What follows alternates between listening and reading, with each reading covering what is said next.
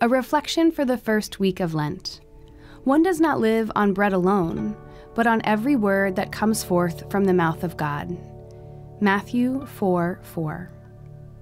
On a hillside by the Sea of Galilee, Jesus taught his disciples the only prayer he would teach.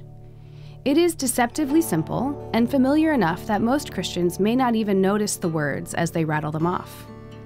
The last line asks that God keep us from temptation and deliver us from evil. Temptation is a human experience, in and of itself not inherently problematic. Scripture makes a deliberate point to let us know that Jesus himself was tempted. As he prepared for his ministry in prayer and fasting alone in the desert, Satan set before Jesus the same things that tempt us power, glory, and the illusion of control. Jesus rebukes him each time, quoting scripture and affirming over and again the power and glory of God. We are not often tempted to turn stones into bread or command angels. Our temptations are more subtle. In C.S. Lewis' book, The Screwtape Letters, a senior demon, Screwtape, is writing to his nephew, a junior tempter named Wormwood.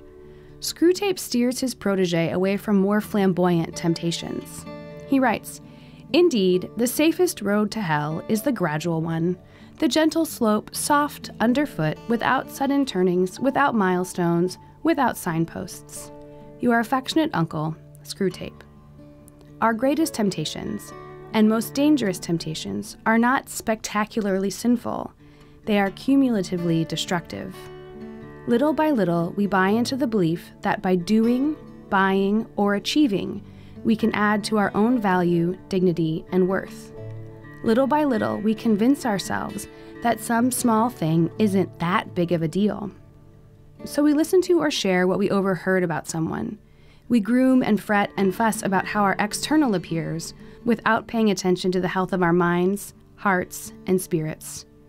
We treat ourselves with extra food and goods without considering those who don't have the essentials. We focus on what the world has to say about us, forgetting that God has already called us good and beloved. And so it goes. The small cracks become chasms, that in time become false separations from others and the love of God.